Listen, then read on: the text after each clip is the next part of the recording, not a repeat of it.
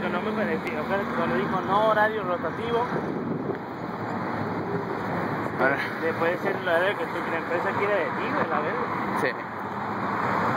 El problema con estos trabajos, pero debes de entender algo, que tienen un chingo de rotación.